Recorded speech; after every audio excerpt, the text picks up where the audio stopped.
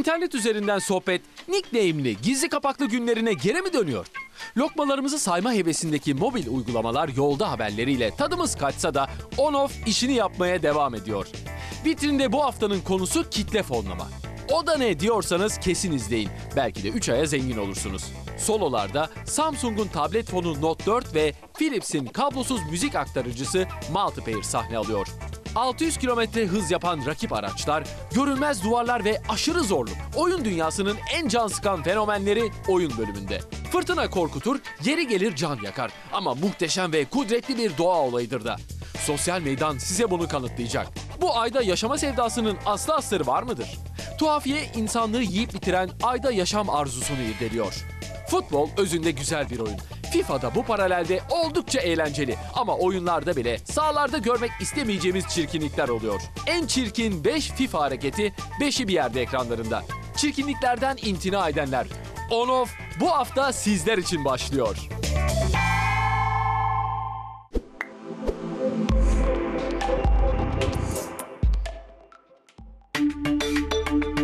Facebook sayesinde internette sohbetin, arkadaşlığın suyu çıktı çıkıyor. Adımızla, sanımızla, arkadaş listemize ekli insanlarla sohbet ederken şimdi birden 90'ların sonundaymışız gibi takma adlar, sohbet odaları geri dönüyor. Meşhur sosyal ağın Rooms adlı yeni uygulaması ilginizi çeken konularda odalar oluşturmanızı ya da var olan odalara girmenizi ve burada sohbet edebilmenizi sağlıyor. Ancak uyaralım, konuşacağınız kişiler arkadaş listenizde ekli olmak zorunda değiller. Apple'ın yeni bilgisayarı olan Retina 5K ekranlı iMac, bir bilgisayardaki en yüksek çözünürlükte ekrana sahip olarak tüm dikkatleri üzerine çekmeyi başardı. 27 inç büyüklüğünde 5120'ye 2280 piksel retina ekran, Full HD'nin 7 katı çözünürlük anlamına geliyor. Cihazda 4 GHz hızında Intel Core i7 işlemci var. Bu da firmanın bugüne kadar kullandığı en hızlı model. 1 TB kapasiteli diski, 2 GB bellekli AMD Radeon R9 M290X ekran kartı da onu güçlü bir bilgisayar yapıyor. Ancak 7000 lirayı aşan fiyatına ne dersiniz bilemeyiz. YouTube paralı olmayı planlıyor. Durun, korkmayın. Kedi videoları için en iyi kaynak tamamen paralı olmuyor. Sadece reklam izlemeden kullanmanızı sağlayacak bir paralı üyelik sistemi geliştiriyor. Ayda 1 milyar ziyaretçinin eriştiği video paylaşım platformu, geçen yıl video sahiplerine kanallarını paralı yapabilme özelliğini sunmuştu. Spor ve aktivite takibi yapan cihazlar üreterek tanınan Fitbit artık yediklerinizde kayıt altına alacak. Firma, yazılımlarını Microsoft'un sesli dijital asistanı Cortana ile çalışacak hale getirdiğini duyurdu. Windows Phone kullanıcıları Cortana'ya yemekte ne yediğini söylediğinde kalori hesapları da devreye girebilecek. Spor aktiviteleri için de sesli desteği yakında tanıtacak firma 350 bin yemeği ismiyle tanıyabiliyor. Şimdi bu özelliği gerçekten popüler mobil işletim sistemleri içinde görmek istiyoruz. Tüm ilerlemelere rağmen tabletlerin bilgisayarların yerini alması şimdilik zor görünüyor. Fakat bu bir bilgisayar gibi kullanılmaz demek değil. Alın bir klavye, koyun tabletinizi karşısına, yazı nasıl yazılır, cümle alem görsün. Logitech'in yeni klavyesi Keys to Go, Bluetooth bağlantısıyla iPad başta olmak üzere tüm tabletlere bağlanabiliyor. Kırmızı, siyah ve mavi renklerle tarzınızı tamamlayan klavye su geçirmiyor, düşmelere de dayanıklı. Sadece 180 gramlık cihaz kolayca taşınıyor. Şarj edilebilen pili de 3 aya kadar çalışmasını sağlıyor. Verileri tüm cihazların kolayca ulaşabileceği şekilde internet üzerinde depolayan bulut sistemlerinde rekabet büyük. OneDrive adlı bulut hizmetinde birkaç ay önce tüm Office 365 kullananlara 1 TB alan hediye eden Microsoft işi bir adım öteye taşımış. Artık Office 365 aboneleri OneDrive'da sınırsız depolama alanına sahip olacaklar. Ayda 7 dolara satılan Office paketi de çalışmalarınızı internet üzerinden açarak düzenleme olanağı veriyor.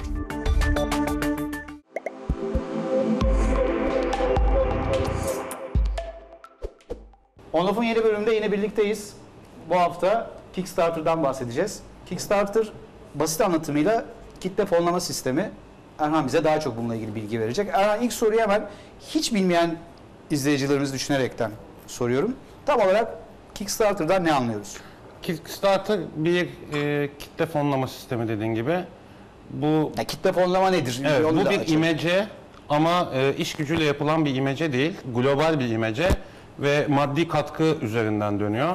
Yani siz bir projeniz var, bir fikriniz var. Ürüne dönüştürmek ya da hayata geçirmek için kapı kapı yatırımcı veya işte bankadan kredi toplamıyorsunuz, toplamaya çalışmıyorsunuz. Projenize Kickstarter bir sitenin adı. Bunun gibi farklı siteler var. Onlardan sizin projenize en uygun kitlenin takip ettiği yeri bulup projenizi o siteye yayınlıyorsunuz. Şimdi ben lafını şöyle kesin. Bizi izleyen e, teknoloji meraklısı izleyicilerimiz tabii şunu soruyor olabilirler. Bu adamlar niye bizi ürün anlatmak yerine Kickstarter'dan bahsetmeyi seçmişler diye. İstersen teknoloji dünyası olan bu yakın ilişkisini bir altını çizelim onun ki akıllarda soru işareti kalmasın. Yani sadece şöyle diyelim Oculus Rift yani e, Sanal sanal, gerçeklik gerçeklik gözlüğü e, işte sosyal medya devi e, bu gözlüğü ve şirketi 2.4 milyar dolara satın aldı. Bu kitle fonlama projesi Oculus Rift. Yani 2 yıl önce 2.8 milyon dolara fonlanan bir proje ve 2 yıl içerisinde daha hiç gerçek ürün satılmadan sadece geliştirici kitleri gönderilerek bu noktaya geldi ve Zuckerberg gitti 2.4 milyar doları verdi ve bu şirketin satın aldı. Yani kitle fonlamadan buraya yani sıfırdan buraya yani şöyle özetleyeyim garajında e, iki tane cep telefonunun ekranıyla ve bir kayak gözlüğüyle e, bu projeyi yapan ve blogunda paylaşan insan şu anda 2.4 milyar dolarlık bir şirketin başında. Anladım. Kaldığın yerden o zaman devam et. Tahmin ediyorum seyircilerimiz de en azından neden bahsettiğimizi ve teknoloji olan bağlantısını çok daha rahat Evet. Yani daha ileride ikinci bölümde direkt ürünlerden bahsettiğimiz zaman bu bağ daha da sağlamlaşacak. E, bu 2006 yılında başlayan e, bir sistem. Yani ilk örnekleri 2006 yılında gözüküyor. Bizim e, bu programı merkezine oturttuğumuz Kickstarter 2009 yılında kuruluyor. Indiegogo diye bir sistem de var. O daha çok e, sosyal sorumluluk projeleri, kişisel projeler üzerinden şeyde ilerleyen bir sistem. O da 2008 yılında kuruluyor. Yani bu sistemin şu an en büyük hit alan, en büyük ziyaret gören, rağbet gören siteleri 2008, 2009, 2010 yılında hayata başlıyorlar. Ee, iki farklı model var kitle fonlamada. Birinci model, bugün bizim üstünde konuşacağımız model. Ee, kullanıcılar ürünün kendisi, özel bir hediye ya da filmi fonluyorlarsa filmin posteri, DVD seti gibi e, kıyaklara karşılık e, istedikleri miktarda bir parayla projeye destek oluyorlar. Şimdi senin şu mühendislik anlatımlarına ben bayılıyorum. Ben bir araya gireyim iki dakika şöyle. Bir kere bu sistem eee, siz bir fikriniz var ve bir cihazla birleştirdiniz bunu. Yani örneğin eee kahve hiç soğutmayan bir fincan Evet. tasarladım diyorsunuz. Siteye belli başlı prensipleri yerine getirip yani bir şirketinizin olması, eee, parasal akışı sağlayacak bir özel kişisel e, resmi bir Hesap, tanımınız evet, olması evet. şartlarıyla birlikte ister dünyanın her yerinden, Türkiye'den ya da başka bir ülkeden bu siteye girip belli Fikrinizi- şartlarınızı belirtip fikrinizin ne olduğunu söylüyorsunuz ve karar veren o merci diyor ki bu olabilir bir proje. Bunları zaten detaylarını Hı hı. konuşacağız. Ve ondan sonra beklemeye başlıyorsunuz. Evet. Yatırımcılar projenizi beğenirse orada zaten siz de herkes takip ediyor. Ve orada ne kadar hayallerinizi gerçekleştirdiğinize tanıklık ediyorsunuz. Evet. Yani bu katılması çok zor bir sistem değil. Değil. Önemli olan Bağış fikri- yapması da, fikrini fikri ortaya olması- da çok zor bir sistem değil. Yatırımcı dediğin aslında burada senin benim gibi insanlar. Yani bu işe hisse karşılığı ben 20 bin dolar vereyim bana %3 hissesini ver gibi bir sistem değil. Bu ikinci sistem, bu bizim konuşmayacağımız sistem. İkinci sistemde yatırımcılara yönelik siteler var. Projeni oraya yüklüyorsun ve yatırımcılar senin geliyor işte değer biçiyor 100 bin dolar. Tamam ben 100 bin doları sana veriyorum %50'sini alıyorum. Bu bizim konuşmayacağımız sistem. Asıl kitle fonlamada normal insanlar sadece ürün karşılığında yani işte Oculus Rift örneğini verdik. O gözlük oraya konuluyor ve 200 dolar bağış yapana deniyor ki e, bu gözlüğün ilk geliştirici kitinden sana bir tane göndereceğiz diyor. Yani bağışının karşılığında alacağı para bu. Yani alacağın ürün sadece o gözlük. Yani ne hisse senedi ne kağıdan ortaklık gibi bir şey yok. Yani burada filmler konuşuluyor. Yani bir film projesini koyuyorsun. E, filme 20 dolar 30 dolar destek verdiğin zaman ne oluyor? O film gişe yaptığı zaman ya da gerçekten hayata döndüğü zaman burada kişisel bir tatmin yaşıyorsun. yani bir film projesinin, sevdiğin bir hikayenin gerçekte ekranda oynamasına sen yardımcı olmuş oluyorsun. Böyle bir yanında var. Ayrıca 20 dolar mı bağışladın? Sana film yayına girdiği gün sana işte orijinal senaryo geliyor yayına girmeden önce. Yayına girdiği gün DVD'sini evine postalıyorlar. Sen Her de projenin farklı farklı tabii bunu bunu direkt projeyi siteye yükleyen insan karar veriyor. katılım ücretleri de 50 dolardan başlıyor. Ya İstiyorsan 1 dolar da koyabilirsin. 3 dolar, 5 dolar, 50 dolar, 100 dolar projenin büyüklüğüne göre. Burada şimdi izleyiciler bunu merak ediyorlardır. Yani peki bu site Kickstarter bunu niye yapıyor? Babasının hayrına yapmıyor tabii ki. Bir yüzde alıyor. Bu yüzde bütün bu benzer sitelerde var e, ve değişiyor. Bazı site mesela yüzde üç alıyor toplanan paradan ve şey diyor her bağıştan da 30 sent alırım. Her bağıştan 15 sent alırım, yüzde 5 alırım. Kimi diyor yüzde 9 alırım, hiç yüzde almam. Yani bağış başına para almam. Toplanan paranın yüzde 9'unu alırım. Şöyle de bir şey var, onu da belirteyim aklıma gelmişken. 50 bin dolar limit koydun. 23 bin dolarda kaldın. Ee, o 23 bin dolarla o proje hayata geçmiyorsa 23 bin dolar direkt tekrardan bağışçılara geri dönüyor. Para yatıranlar paralarını geri almış Evet, oluyor. evet. Onlar da bir zarara Evet, uğramamış yani oluyor. o zaten sen yatırdıkça e, projeyi yapan insanın eline gönderilen bir para değil. O havuzda bulut gibi bir yerde birikiyor. Eğer kitle fonlama miktarını, limiti geçerse, limiti geçtikten sonra fonlama süresi dolunca e, cihazı ya da filmi yapacak insana veriliyor para. Digital Angel gibi bir şey bir Evet. sistem anladığımız kadarıyla. O zaman bu bölüme bir ara verelim. Evet. Ee, bir dahaki bölümde Daha projeler üzerine projelerden kaç kişi konuşalım. katılıyor ediyor onları netleştiririz. öyle yapalım. Küçük bir ara veriyoruz. Tekrar birlikte olacağız.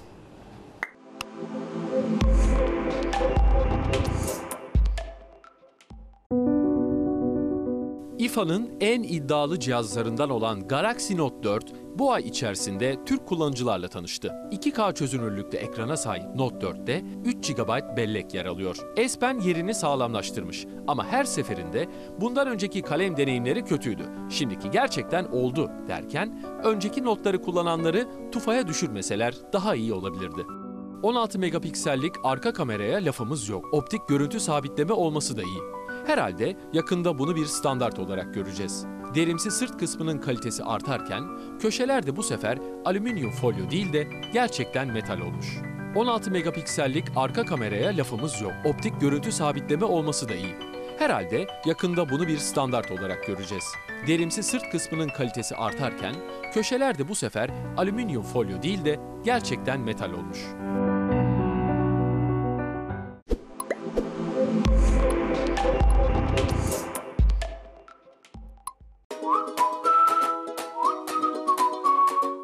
Geçen bölümlerde Monument diye bir oyundan ve onu ne kadar sevdiğimizden bahsetmiştik. Hemencecik biten oyun bizi bir boşluğa sürüklemişti ki Back to Bed karşımıza çıktı. Yer çekimini aldatarak fizik kurallarını esnettiğiniz bu oyunda bir uyur gezeri sağ salim yatağına götürmek için çevreyi manipüle ediyorsunuz. Face Fusion iki farklı suratı hem fiziki yapılarını hem de tonları göz önüne alarak ilginç ve pek de fark edilmeyecek şekilde bir araya getiren bir uygulama. Bunu geliştirenlerin tanıtım esnasında suratınızı bir ünlünün suratıyla karıştırmanızı önermeleri yeterince garipti. Asıl gariplik evcil hayvanınızın suratıyla kendi suratınızı karıştırınca ortaya çıkıyor. Bulut uygulamalarının ücretsiz sunduğu alanlar tek başına yeterli olmadığı için bu hesaplardan birkaç tane kullanmak sık başvurulan bir yol ama kolay bir yol değil. Cloud Mesh birden fazla ve farklı bulut hesabınızı tek bir arayüze kontrol etmenizi sağlıyor. Böylece neredeyse tek bir bulut hesabından ücretli alan satın almışçasına rahat bir dosya yönetimi sistemine sahip oluyorsunuz. Dergimizi ve bu programı takip edenlerin Birinci Dünya Savaşı ile ilgili bu ilginç oyunu duymamış olmaları mümkün değil. Komik çizgileri, duygusal çelişkileri ve gerçek mektuplardan esinlenerek hazırlanan hikayesiyle beğenimizi kazanan bu mükemmel platform oyunu artık mobil dünyada. Şu an sadece iOS'a gelen Ubisoft oyununu kısa sürede diğer platformlara da bekliyoruz.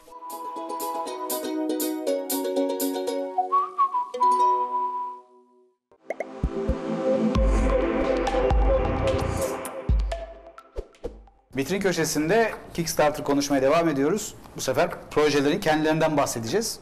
Rakamlar, e, bir takım istatistik verilerle. Sözler bende. Şimdi bu sektörün büyüklüğüyle ilgili e, bir fikir oluşması için bir şeyler söyleyeyim. Kickstarter bu sistemde yer alan sadece bir site. En büyük de değil trafik alan, ikinci büyük trafik alan site. E, Kickstarter'da şu ana kadar 7.3 milyon insan en az bir projeye para yatırmış.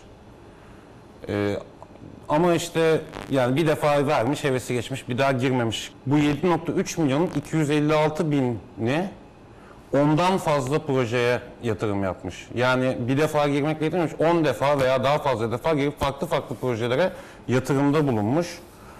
Ee, 2013 yılında tüm kitle fonlama sektöründe 5.1 milyar dolar bağış toplanmış.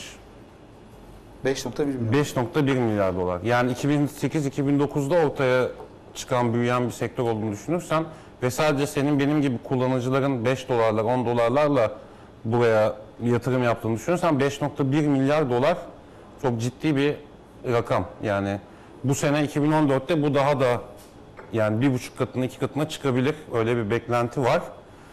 Ee, Kickstarter'da 15 farklı kategori var. Ee, sanat, zanaat, çizgi roman, film, teknoloji, moda.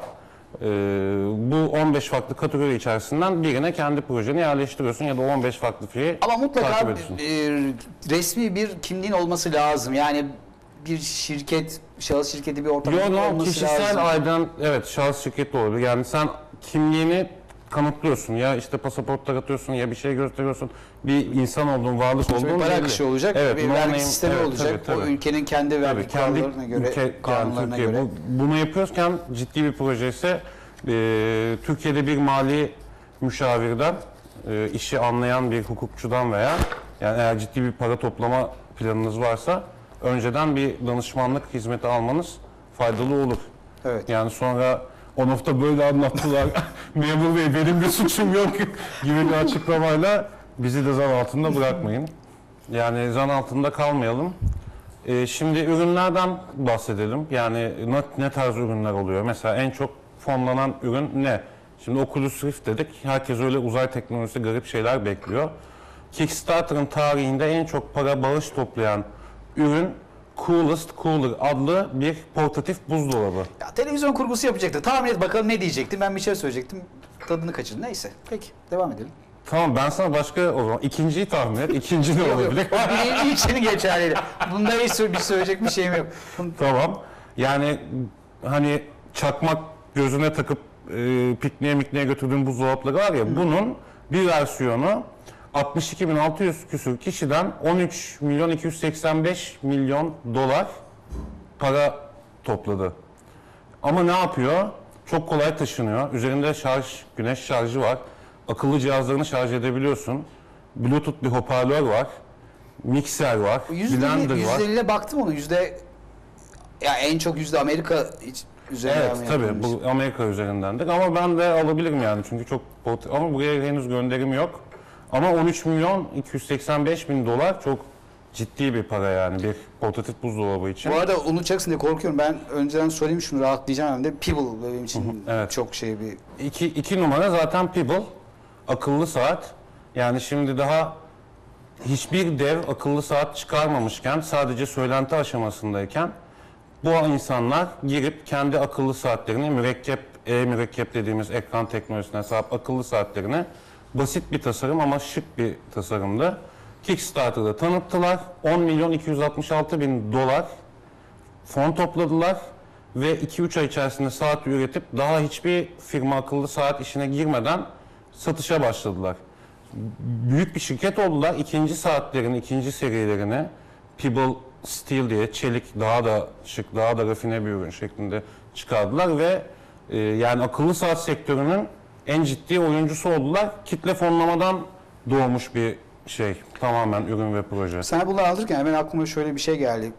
Yatırımcı ya da e, üretici olmasanız bile e, geleceğin nereye gideceğini bu siteyi takip ederek bile Evet. söz sahibi Yani olabilirsiniz. bu kitle fonlama aynı zamanda bir kitle e, şeyi paylaşımı, düşünce paylaşımı, üretim Bir kamuoyu yaratıyor Evet. sonuçta. Yani oradaki gidip ürünlere bakıyorsunuz. Kendi aklınızdaki fikir besleyen bir ürün görüyorsunuz. Evet o ürün fonlanmayacak olabilir ama siz onu daha real bir hale getirme şansına tanış sahip oluyorsunuz. Çünkü o ürünle ya da o fikirle tanışmış oluyorsunuz.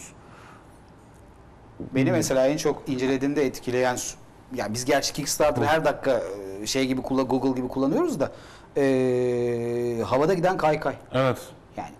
Back to the Future filmde vardı. Evet. Michael Fox kullanıyordu. Ya direkt asfaltın üstünde gitmiyor ama onu bir metal zeminde belli bir 2-3 santim Buradan yükseklikte onun gidecek e, şekilde alt altta yazısını verelim izleyicilerimize. E, gidip videosunu tıklasınlar da gösterelim. videosunu seyretsinler yani kaykayla havada uçmak hayal değil. Ye- Zemin gerçi çelik ya da metal, Metal, bir zemin evet, olması o lazım. Ama etki düşünün yaratacak. sahil yolunun bir kısmına öyle bir metal şerit yapıldığını ve üzerinde havada kaykayla giden bir takım e, insanlar. Yani sonuçta dediğin gibi gelecek bir anlamda hayal olmaktan çıkıyor. Ben Bir- yine senin ses- sözünü keseceğim. Yok kes. Son bölüme sakla çünkü sırada bayağı bölümümüz var bu haftada. Bir kısa bir şey daha söyleyeyim.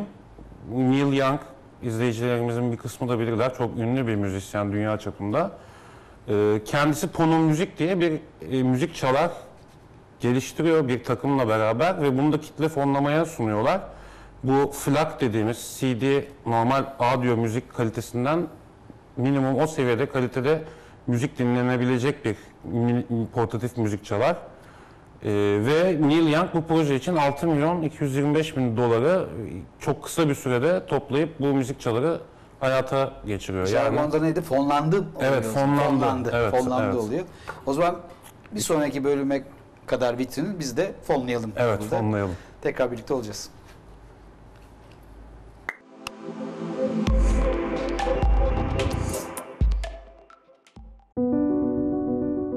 Kahvenizi yudumladığınız yerde müziğinizi dilediğiniz gibi kontrol etmek ister misiniz? Kablolu müzik sisteminize bağladığınız Philips Multipair, Bluetooth üzerinden cihazlarınızla eşleşerek eski sisteminizi kablosuz bir sisteme dönüştürüyor. Aynı anda 3 farklı cihazla eşleşebilen Multipair, bu cihazlar arasında kolay geçiş sağlayarak telefonla eşleşmeyi kaldır, tablette yeniden eşleştir derdini bertaraf ediyor. Hızlı kablosuz bağlantılara ek olarak kolay eşleştirme sağlayan NFC'ye de sahip ufaklık. Müzikle ilgili tüm cihazlarınızı tek noktada buluşturuyor.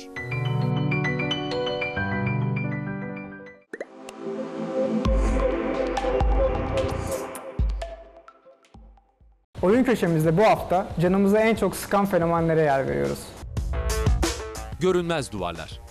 Yapımcılar geniş bir harita, açık dünya falan diyorlar ama bazı yerlere gitmeye kalkınca oranın sadece görüntüden ibaret, oynanamaz olduğu anlaşılıyor. Boş boş bir yere doğru koşup olduğumuz yerde sayıyoruz. Aşırı zorluk. Yorgun argın eve gelince interaktif bir hikaye deneyimleyeyim deyip de oyun başına oturuyorsun ve saç baş yoldurtan cinste bir zorluk beliriyor. En kötüsü de checkpoint. Yani ilerledikçe kayıt etme noktası temelinde hazırlandığından ta bölümün başına 10 dakika geriye dönüyorsun. Aynı şeyleri tekrar tekrar tekrar. Öf çok sıkıcı. Saatte 600 kilometre hız yapan rakip araçlar. Yarış oyunlarındaki yapay zeka mantığını anlamış değiliz. Bu rakiplerin araçlarını iyi kullanıp bizi yenmesi gerekmiyor mu? Kullanamadıklarında neden aradaki 30 saniyelik farkı 4 saniyede kapatıp da ensemizde bitiyorlar? Birinciliği korumak çok zor. Yapmayın böyle. Atlanmayan ara videolar. Yani bir şekilde kayıt dosyamız kaybolmuştur, ikinci kez oynuyoruzdur, dili anlamıyoruz, video bize bir şey ifade etmiyordur. En kötüsü de izlemek istemiyoruzdur. Bize bu şansı sunun. Çok bekletiyorsunuz. Olmuyor. Nereye gideceğimizin belli olmaması. Özellikle Skyrim gibi açık dünya oyunlarında bildiğiniz işkence oluyor.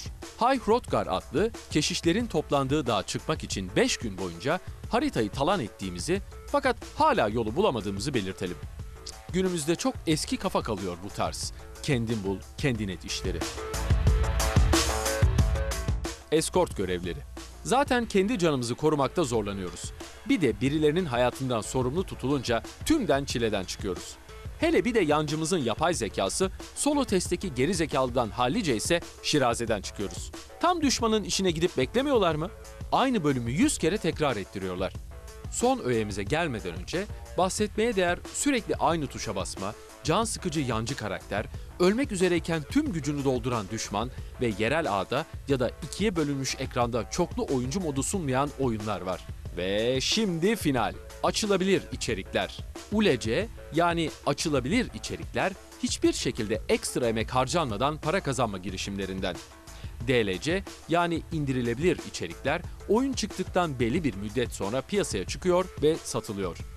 ULC'ler ise diskin ya da indirilen dosyaların içinde gizli oluyor ve satın alınan bir kod vasıtasıyla çalışıyor. Gözünüz doysun ya.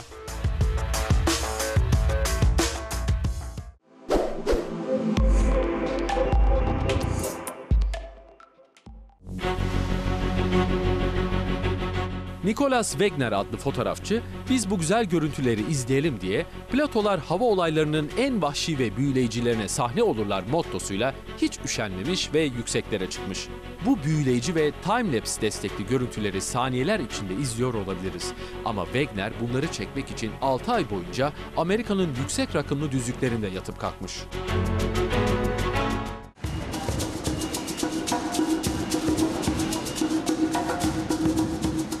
Besteci Lev Zurvin, New York'taki metro müzisyenlerini teknolojiyi de kullanarak bir araya getirmeyi planlıyor. Bu amaç uğruna metro müzisyenlerine özel adı sinyal kuvveti olan bir şarkı besteliyor. 9 farklı istasyondan seçilen müzisyenleri internet, akıllı telefonlar ve bilgisayarlar maharetiyle birbirine bağlıyor ve hepsini ekranlarda karşısına oturtup bu ilginç performansı gerçekleştiriyor.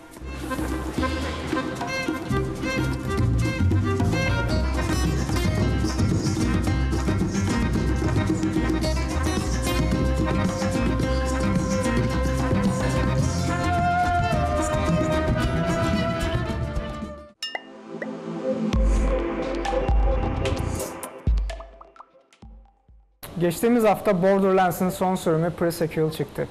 Konu bizim ayımız gibi bir mekanda geçiyor. İnsanoğlu bugüne kadar hep Ay'a çıkmaya çalıştı, Ay'a koloniler kurmaya çalıştı. Peki Borderlands pre-sequel gerçek olabilir mi? İnsanoğlu Ay'da yaşayabilir mi? İzleyelim ve görelim. Ta 1653'te papaz John Wilkins, insanlığın ayda yaşadığını anlatan bir şeyler karalamıştı. 1950 ve 60'larda ABD hükümeti Project Horizon yani Ufuk Projesi adıyla Ay'a çıkmak için girişimlerde bulundu. 59 yılında konuşulan bu projede 66 yılına kadar sözde Ay'a bir ordu üssü kurulacaktı. ABD Hava Kuvvetleri ise Ay'da bir yeraltı üssü yapmak istiyordu. En yakın zamana gelelim. 2006'da NASA, insanlığın rahatça yaşayabileceği bir yerleşim yerini 2024'e kadar bitirmeyi hedefleyen bir projeyle geldi. Peki gerçekten Ay'da yaşayabilir miydik? Ayın bir atmosferi yok. Etrafındaki kantin tostu sucuğu inceliğindeki gaz tabakasına egzosfer deniyor. Bu yüzden güneşi bembeyaz, kör edici şekilde görürdük. Güneş ışını radyasyonu içimize kadar işlerdi. Romantik bir ortam olur, sevgilimle el ele tutuşur yıldızlara bakarım diyenler de sevinmesinler. Güneş, çevre yıldızların hepsinden parlak göründüğü için gökyüzünde yıldız görünmezdi. Bir gün, dünya günüyle 29 gün sürerdi. Bunun yarısı karanlık, yarısı aydınlık olurdu. Sabahçılar, öğleciler, 10 gün aralıksız okula gittiğinizi düşünebiliyor musunuz? Zamanı izlemek için de özel saatlerimiz olması gerekirdi. Ona para vermem derseniz de geçmişte insanlar nasıl ay takvimi kullandılarsa siz de dünya takvimi kullanabilirsiniz. Bir ay gününde dünyanın tüm fazlarını görebilirdik. Dünya aydan yaklaşık 4 kat büyük. Bu yüzden bir tutulma anında dünya saatlerce güneşin önünde dururdu. Bu uzun gece gündüzler vücudumuzun işleyişini bozardı. Vücudumuzun gece sandığı zamanlardaki gündüz, uyku düzeni bozukluğu, deccal gibi hiperaktiflik, yorgunluk, değişken duygu durumları yaratabilirdi. Bunun tam tersinde gündüz sanılan gecede ise mutsuzluk, yorgunluk, uyanık kalamama ve karbonhidrat temelli beslenme gibi yan etkiler ortaya çıkardı. Vücudumuzu bozan tek şey de bu olmazdı. Koca bir keçiyi sırtlayıp götürebileceğimiz kadar az yer çekimine sahip ay, kemik yoğunluğumuzu kaybetmemize sebep olurdu. Bizi tek öldürecek şey de bu olmazdı. Ayda bir yıl geçirmiş olsak dünyadakine göre daha yaşlı olurduk. Saniyenin binde ikisi kadar daha yaşlı. Yer çekimin olduğu yerde zaman yavaşlıyor. Hatta GPS üreticileri bile uzaydaki uyduları ve dünyadaki zamanı senkronlamaya ayrı efor harcıyorlar. Yer çekimi olan yerle olmayan yerin zamanı bir olur mu hiç? Hiç.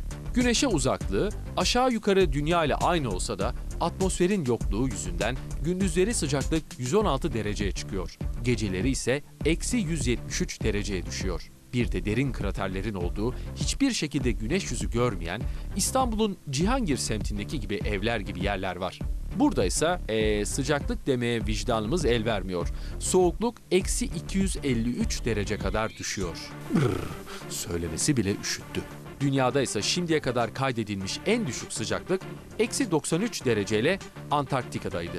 Yalnız ayın bu karanlık yerlerinde buz olabileceği söyleniyor. Dünyadan su transfer etmek yerine buradan içerek maliyeti azaltabiliriz. Peki kendi atmosferimizi yapıp güzel yeşillik bir alan kursak, 100 yıl uğraşsak da yaratabileceğimiz atmosferin kalitesi dünya ile uzay arasındaki 10 metrelik alanda karman çizgisi olarak bilinen kadar yer olacaktı. Dünyadaki hava basıncının milyonda biri kadar bile basınca sahip olmayacaktı. Hadi nefes alınabilir bir atmosferi yaptık diyelim. Onu da 100 yılda bir tazelememiz gerekecekti.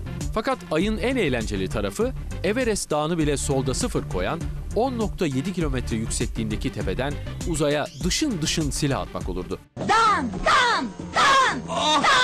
Bu mermiler ayın yörüngesine yerleşirdi. Bu işler yaş işler. %75'i su olsa da dünyanın suyu çıkmadı. Oturalım efendi gibi durduk yere icat çıkarmayalım.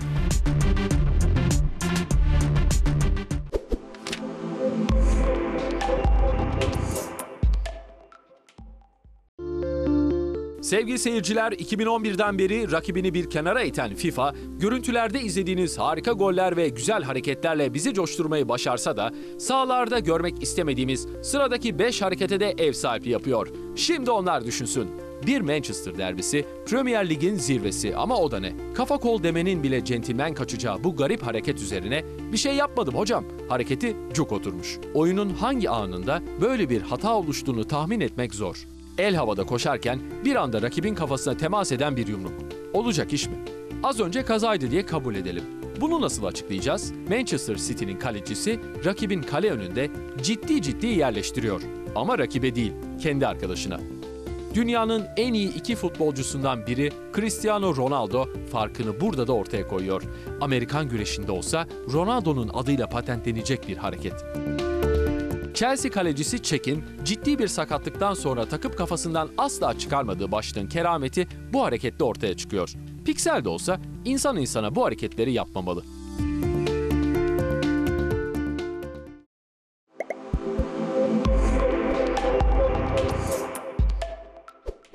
Vitrin köşesinde Kickstarter'ı konuşmaya devam ediyoruz. Şimdi Kickstarter'ın geleceği nasıl etkileyeceğini konuşacağız. Sözüne Erhan'da. Bir Az önceki bölümde veremediğim bir örnek vardı. Bu örneği de senden sakladım program öncesinde Gıcık bir paylaşmadım. şekilde de kestim seni. Evet, ya çok ama hoş bir örnek. Ee, bir Kickstarter belgeseli, Kickstarter'dan fonlanan bir belgesel e, 2013'te Oscar aldı. Ciddisin. Evet, Innocente adlı bir belgesel. E, 15 yaşında e, bir yere kaydı olmayan, ailesi olmayan, yalnız başına Los, Kaliforniya'da yaşayan bir kız. Hayali sanatçı olmak, yetenekli de bir kız. Bu kızın hayatından bir kesiti anlatan kısa bir belgesel. 2013 yılında kısa belgesel dalında Oscar aldı. Ve aynı yıl e, iki kitle fonlama e, projesiyle hayata geçmiş e, eser de Oscar için yarışıyordu. Oo, bu gerçekten şok oldu. Evet ve işte e, bundan sonra nasıl bir gelecek olacak bu kitle fonlama acaba böyle 3 yıllık 4 yıllık bir hevesti gelip geçecek mi? 5 yıl sonra ya bir ara kitle fonlama diye bir şey vardı. Hatırlıyor musun Kaan? diye konuşacak mıyız acaba? Yoksa bu artık bir e, yatırım sistemi bir e, sanatsal üretim sistemi olarak e, hayatımızın içinde e, kendi yerini edinip devam mı edecek? Valla şimdi şöyle ben kendi adıma toparlamam gerekirse teknoloji yani son kullanıcıya yönelik olan teknoloji mutlaka vizyoner bir takım fikirlere ihtiyaç duyuyor. Şimdi Kickstarter'da doğan projeler daha sonra büyük yatırımcılarla bu- bu- buluşuyor. İşte sen biraz önce bize rakamlarla Oculus Rift'ten, Peeble'dan bahsedip eee, bir yerlere getirdin. Benim orada küçük bir endişem var. Bir iki tane farklı segmentlerde örnekler vermek gerekirse mesela Blair Witch Project diye bir film vardı. Blair Cadısı. Projesi. İlk film inanılmaz güzeldi çünkü ortaya çıkışı çok akıllıcaydı ve çok etkiledi. Zaten korkutucu olması da o amatörlüğündendi. Ama ne zaman bir film şirketi buna ciddi yatırım yapıp da ikincisini çekti, çöp oldu. Patladı. Yani ben de e, o projelerin daha sonra büyük yatırımcılarla, büyük markalarla birleştiği zaman o lezzetli halini kaybetmesinden açıkçası çekiniyorum. Çok önemli. E, şöyle çok önemli. Biraz önce bir önceki bölümde bahsettiğim gibi yatırımcı ya da kullanıcı olmasanız ya da e, bir şey üretmeseniz bile vizyonu nereye gittiğini. Yani bugünkü kullandığımız televizyon teknolojisini 5 sene önce belki tahmin edemiyorduk.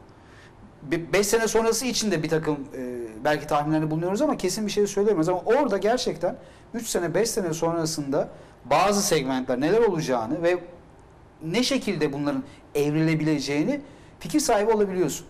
Bilmiyorum sen buna katılıyor musun? Ben de katılıyorum. Yani e, bu bir e, tüketici anketi yapmak gibi bir şey global ölçekte. Yani oraya girip Kickstarter ya da benzeri sitelerde rastgele dolaştığın zaman yani bir alet görüyorsun, bir şey görüyorsun. Ya mesela bu ay dergide yazdığımız bir ürün vardı. Çok basit bir şey.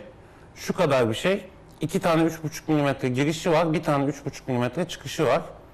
Bunu iki akıllı telefona takıyorsun ve içerideki işlemci o iki akıllı telefonda çaldığın farklı müzikler arasında geçişler yapmanı Sağlıyor. sağlıyor. Ee, üçüncüden de çıkış aldığın için bu müziği istediğin sistemde yayınlayabiliyorsun. Şöyle bir şey de yapıyorum. Buradan müzik çalıyorsun, buradan DJ uygulaması çalıştırıyorsun. İki akıllı telefonda sadece şöyle bir aletle mixini yapıyorsun ve partini onunla yapıyorsun. 20 dolar mı 30 dolar gibi bir fiyatı var. Tabii hemen bir haftada iki haftada fonlanmış bu ürün. E buna ihtiyacın olduğunu fark etmiyorsun. Ama böyle bir gereksinimin var ama adını koyamıyorsun. Siteye girip baktığın zaman bakıyorsun ki birisi senin için onun adını koymuş. Hatta yapmış. Orada satıyor. Yani bu dev şirketlerin araştırma geliştirmeye çok para harcıyorlar. Tüketici alışkanlıklarını öğrenmek için inanılmaz paralar harcıyorlar. Ama burada direkt tüketiciler yani bunu yapan adam da kendi ihtiyacından dolayı yapıyor ve bunu para getirebileceğini düşündüğü için oraya koyuyor. Yani direkt orada tüketicinin ihtiyacından doğan ürünler çoğunlukta. Ee, bu nedenle bence bu kısa soluklu bir e, hareket olmayacak. Yani gördük işte yani Oscar almış. Bir de çok cüzi 57 bin dolar, 50 bin dolar fon istemiş, 57 bin dolar toplamışlar, çekmişler ve Oscar kazanmışlar. Bir tiyatro e, sinemaya dönüştürülmüş ama perdesi ve e, projeksiyon sistemi çok eski. Amerika'da Illinois'te bir tiyatro. Yani diyor ki biz burayı yaşatmak istiyoruz ama perdeyi, projeksiyonu değiştirmemiz lazım. 118 bin dolar para topluyorlar ve dünyanın her yerinden topluyorlar. Ve o sinema yenileniyor ve hayatına devam ediyor. Yani bu sistem birçok şeye fayda sağlıyor. Evet tabii ki devlerin geliştirdiği ürünler bilmem neler teknolojinin hareketini şeyini yönünü her zaman belirleyecek. Ama bu da e, alternatif olarak bence uzun bir süre daha da büyüyerek bir süre çünkü 5.1 milyar dolar ben yani 10-15 milyar dolara gideceğini öngörüyorum bir iki yıl içerisinde. Yani çok ciddi oyunlar hiç daha oyunların isminden bahsedemedik de çok ciddi oyunlar belki izleyicilerimiz duyduğu zaman Wasteland 2 kitle fonlamayla projelendirmiş. Hatta şey düşünüyorum ben e, bir dahaki bölümlerde bir tanesinde bağımsız oyunlar üzerine bir vitrin köşesi yapalım. Evet. Yani o bilinen çok satan oyunlar O değil bağımsız ama oyunların yarısının kitle fonlamayla ortaya çıktığını altını çizelim. görünce Ve ben Türkiye'de birçok fikrin de bu şekilde e, dünyada tanınacağını düşünüyorum. E, çünkü bizde de çok iyi fikirler, çok iyi beyinler var. Ve onların da önünün bir şekilde bu açılması daha kolay olabilir. Türkiye'den benim taradığım kadarıyla, rastladığım kadarıyla böyle ciddi bir e, aşama kaydeden bir kitle fonlama hareketi yok ürün bazında. Ama bağış bazında yani kişisel bağış bazında o Indiegogo ya da diğer e, kanallardan e, 100 bin dolarların üstünde bağış toplayan sosyal sorumluluk veya yardım hareketleri var Türkiye çerçevesinde. E, ama işte Türkiye'de çok e, dar bir kitle internetin bu kısımlarıyla ilgileniyor Ee, ya da o kısımlara ulaşımı olmuyor. Biz hani sürekli söylüyoruz ya 2500 liralık telefonu almanıza gerek yok aslında 1000 liralık telefonla da Yani işte eve internet bağlatıyor, fiber internet oluyor ama yani internetin aslında fiber internet hızını gerektirmeyecek kısımlarıyla ilgili bilgiye ulaşamıyor çoğu büyük insan, çoğu büyük bir kesim. Ee, biz de işte nacizane ufak tefek bize ayrılan vakitte Ne güzel dedin. Bize ayrılan sürenin sonuna geldik. Efendim bizden bu haftalık bu kadar. 360 ekranlarından hoşçakalın. Gelecek hafta görüşünceye dek. görüşmek üzere.